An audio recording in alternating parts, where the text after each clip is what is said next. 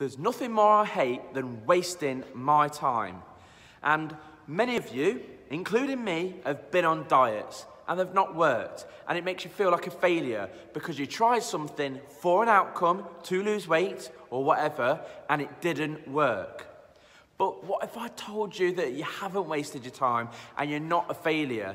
That all of this was just collecting data, like trial and error. Results come from trial and error. You've got to try stuff out to see if it works and wean out the weak. And that's all it was. You wasn't wasting your time all of this time. You were just trying stuff out. Like I figured out I hate going on a diet that tells me I'm restricted from certain foods, especially if you try and take bread off me and beer off me.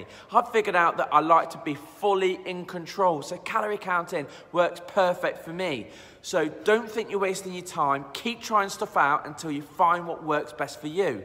Coach